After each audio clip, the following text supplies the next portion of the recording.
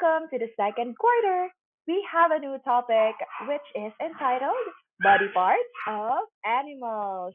But first, let us pray first for knowledge and wisdom.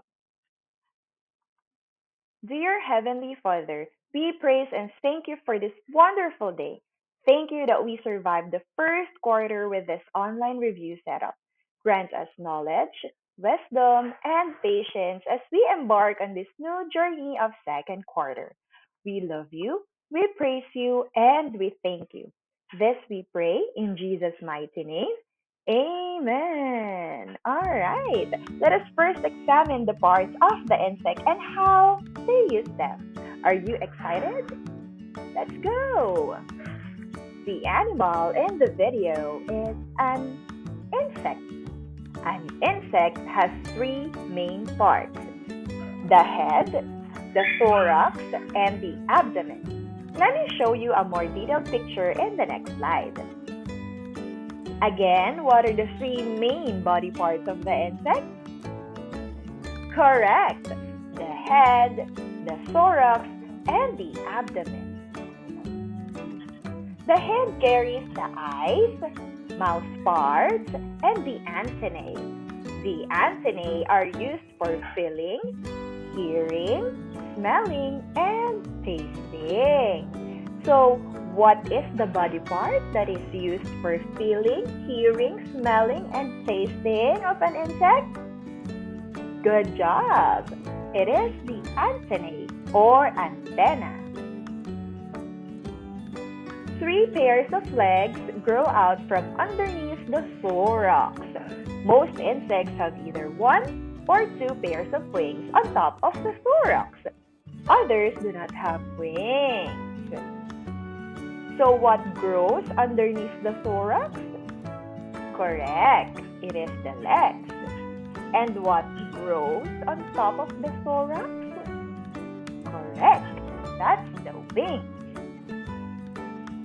The insect's abdomen contains organs like the stomach, intestine, and tubes for laying eggs. What's that body part that contains the stomach, intestine, and tubes for laying eggs? Correct! It is abdomen. I have here some examples of insects. All of them have the three main body parts the head, the abdomen, and the thorax. Number one example, bee. Number two example, grasshopper. Number three example, ladybug. Number four example, butterfly. And last but not the least, mosquito. All of them are insects, and all of them have three main body parts the head, the abdomen, and the thorax. Don't forget, okay? Now that we have learned about the body parts of the insects, let's now study the fish. Good job! The living thing shown in the video is a fish. The body parts of the fish are divided into two main parts the head and the body. Fishes are covered with scales or slippery skin for protection. What is it called? Scales. S C A L E S. It is the slippery skin for protection. These are the body parts of the fish.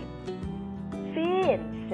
Fins help the fish move forward in a straight line, turn left and right, and go up and down. Again, what do you call that? Correct. Fins fins help the fish move. Fish take water through their mouths. Where is the mouth of the fish? Good job. And then push the water out through the slits found behind their head. Inside the slits are gills. Where is the gill? Good job. Gills look like red brushes gills take oxygen from the water so that the fish can live. So what is that red brushes? It's called gills. and it helps take oxygen from the water so that the fish can live. Good job! I have here some examples of fishes. All of them have the main body parts like head and the body. Are you ready? Goldfish Tilapia And of course, fighter fish. Now that we have learned about the body parts of the insects, the fishes, let us now study the bird. This is an example of a bird. Look carefully. Birds are covered with feathers. Their bodies are held upright by two legs. All birds have wings, although some birds cannot fly. An ostrich cannot fly, but it can run fast. A hummingbird can fly in different directions. It can fly backwards, forward, sideways, up, and even down. Amazing, isn't it? Birds have beaks and claws. Birds that eat insects have pointed beaks. Some birds have hooked beaks to break the fish they eat into small pieces. Birds' claws also help them get their food. So what does the body parts that help the birds to get and eat food? Correct! The beak and also the claws. If they are using it to pick up some food, it's the pointed beak. And if they need to break the meat into small pieces, they use the hook beak. Good job! Again, the parts of the bird are as follows. They have the eyes. Can you point where is the eye of the bird? Good job. They have the beak. Where is the beak of the bird? Good job. They have wings. Where's the wings of the bird? Very good. They have legs. Where's the legs? Good job. They have claws. Where are the claws? Very good. And of course, they have the tail. Where's the tail? All of it is covered with feathers. I have here some examples of birds. All of them have wings to fly and beaks to get food we have penguin. Penguin is a kind of a bird that cannot fly, just like the ostrich. Eagle. Our national bird is eagle, Philippine eagle. And of course, chicken. Chicken is also a kind of a bird. Now, let's study the snake. The body of a snake has two parts the head and the long muscular trunk. Again, they have head and trunk. A snake does not have feet. It moves by slithering or sliding its body from side to side.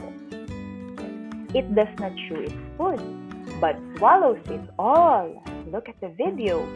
It uses its tongue to smell. It has good sense of smell and uses it to find food. Be careful! Let us now study the mammals. Cats and dogs belong to the group of animals which is called mammals.